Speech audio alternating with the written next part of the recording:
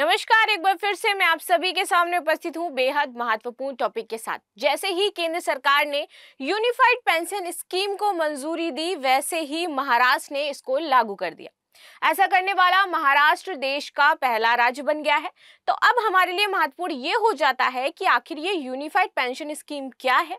साथ ही साथ ये एनपीएस से आपकी कैसे अलग होती है? आपकी जो पेंशन योजना है, वो पेंशन जो सिस्टम है, वो किस प्रकार से कार्य करता है? तो इन्हीं सारी चीज़ों पर हम डिटेल से एनालिसिस करेंगे। लास्ट तक ज़रूर बने रहिएगा। मेरा नाम है प्राची मिश्रा और संस्कृति आई के इस प्लेटफॉर्म पर आप सभी का स्वागत है। देखिए अब यूनिफाइड पेंशन स्कीम है, आप सभी को पता है कि बहुत टाइम से जो है वो पेंशन ओल्ड पेंशन स्कीम को लागू किया जाए, इनमें बदलाव किए जाए, इसकी मांग चल रही थी। इसके पश्चात जब चुनाव हुए तो आपने देखा कि ये बहुत बड़ा मुद्दा बन गया था, क्योंकि विपक्षी पार्टी ने बोला कि भाई हम क्या करेंगे, जो ओल्ड पेंशन स्कीम है उसको लागू कर देंगे। तो कहीं ना कहीं से सरकार को हानि तो हुई। बाकी आपकी क्या राय है कि क्या वाकई ये चुनावी मुद्दों को नज़र रखते हुए या फिर चुनावी जो गतिविधियाँ हुई हैं उसको नज़र रखते हुए ये स्कीम लाई गई है?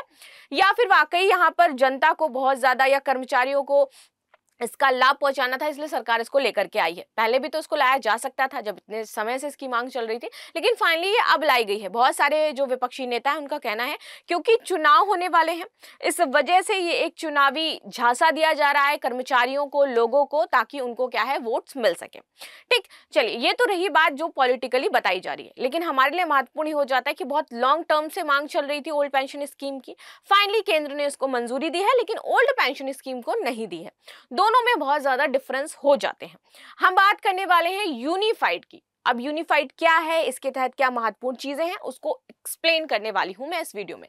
ठीक है? तो Maharashtra becomes first state to offer unified pension scheme to employees ठीक है? चलिए, बाकी आपकी इस पर क्या राय है या आप में से कोई सरकारी कर्मचारी यदि मुझे देख रहा है तो अवश्य बताएँ कि इस समय क्या महत्वपूर्ण चीज़ें और शामिल होनी चाहिए थी? ये स्कीम वाकई आपके लिए लाभकारी है या फिर नहीं है? या फिर जो पुरानी स्कीम थी, वही सही थी?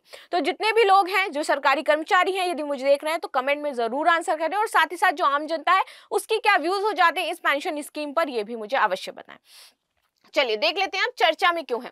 तो महाराष्ट्र रविवार को यूनिफाइड पेंशन स्कीम पेशकश करने वाला देश का पहला राज्य बन गया है।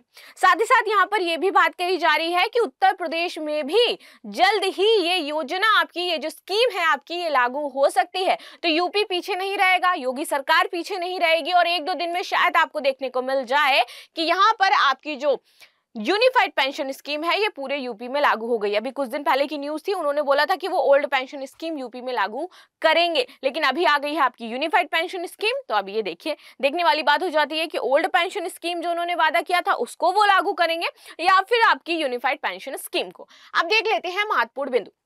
देखिए यूनिफाइड पेंशन स्कीम केंद्रीय सरकारी कर्मचारियों के लिए एक नई पेंशन स्कीम है। इसको लागू करने की जो योजना बनी है, वो 1 अप्रैल 2025 से बनाई गई है, यानी कि अगले साल से ये आपकी योजना पूरी तरीके से प्रभाव में आ जाएगी।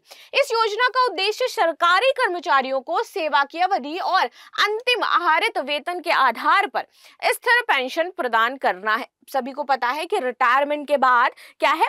पेंशन दी जाती है हर महीने, सरकारी जो एम्प्लॉयज़ होते हैं। ठीक, इसीलिए आप देखो सरकारी जॉब के प्रति हमारा जो मोह है वो खत्म नहीं हो पाता है, क्योंकि पहले तो सिक्योरिटी है ही, बाद में भी सिक्योरिटी है। लेकिन गवर्नमेंट क्या कर रही थी, इस बाद की सिक्योरिटी को थोड़ा सा वो रिस्ट्रिक्ट करना चाह रही थी, बांधना चाह रही थी, जिसको लेकर के सभी सरकारी कर्मचारी जो है वो बहुत ज़्यादा आक्रोश में भी थे। लेकिन अब यहाँ पर बहुत ही इंपॉर्टेंट चेंजमेंट्स किए गए हैं।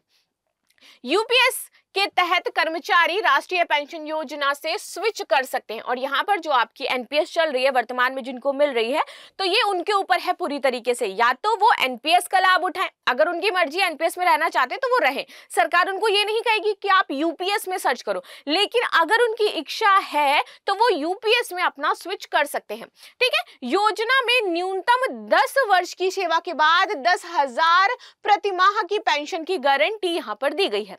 इसके अतिरिक्त सेना सेवानिवृत्त और एक मुश्त भुगतान और पारिवारिक पेंशन का भी यहाँ पर प्रावधान किया गया है। तो जो भी सेवानिवृत्त होते हैं, एक मुश्त जिनको भुगतान चाहिए या फिर पारिवारिक पेंशन है तो ये सारी चीज़ें इसमें इन्वॉल्व की गई हैं। आगे बात कर लेते हैं यूनिफाइड पेंशन स्कीम के कुछ पाँच पॉइंट्स जो हमें शॉर्ट में बताते हैं कि ये स्कीम आखिर क्या है। देखिए, कम से कम 50 फ़ीसदी पेंशन की गारंटी यहाँ पर दी जाएगी, यानी कि आपकी सैलरी का 50 परसेंट आपको एज अ पेंशन मिलेगा तो सबसे पहले गारंटी हमें ये दे देती है यूनिफाइड पेंशन स्कीम कि 50 परसेंट मिलने ही मिलने वाला है। दूसरा, यहाँ पर एक क्राइटेरिया रखा गया है विच इज़ टेन ईयर्स अगर आप 10 साल से अधिक उस सेवा में हैं, दस साल से आप उस पद पर हैं तभी आपको दस हज़ार रुपए प्रति माह का जो निश्चित पेंशन है, ये जो प्रावधान है, वो किया जाएगा। यानी कि जो दस साल से अधिक की सेवा पर है, उनको दस हज़ार रुपए मिलने वाले हैं। आगे, रिटायर्ड कर्मचारी की मौत पर परिजन को साठ फ़ीसदी पेंशन दी जाएगी। और यदि रिटायर्ड कर्मचारी है उसकी मृत्यु हो जाती है। तो उसके परिवार वालों को 60 परसेंट यहाँ पर एज अ पेंशन के रूप में दिया जाएगा। यदि वो जीवित हैं तो 50 परसेंट दिया जाएगा। आगे बात करते हैं। कर्मचारी और फैमिली पेंशन को महँगाई के साथ जोड़ दिया जाएगा। जिस हिसाब की महँगाई, जिस हिसाब की चीज़ है उस हिसाब से उसमें ऊपर नीचे मामला चलता रहेगा।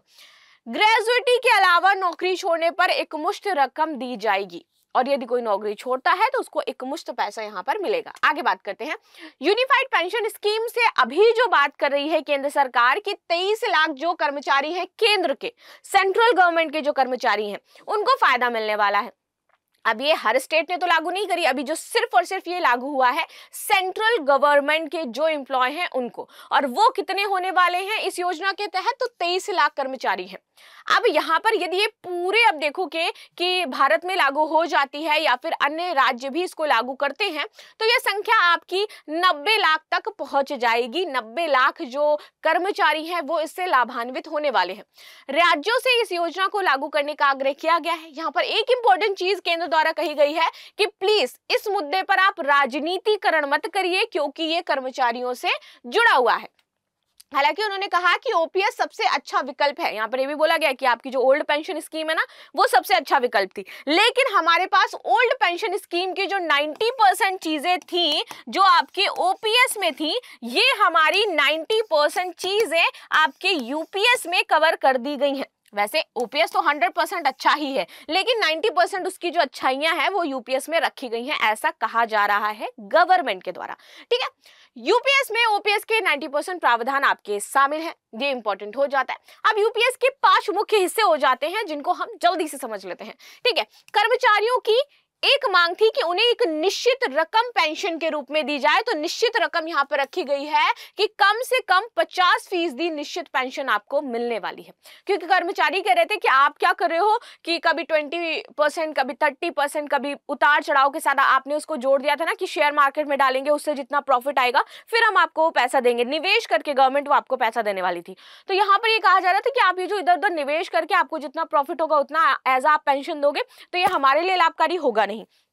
आप क्या करिए, हमें एक निश्चित पेंशन दीजिए कि बंदी हुई, इतना पैसा मेरे पास आएगा। तो कर्मचारियों की मांग थी यही और फाइनली इसको पूरा कर दिया गया है।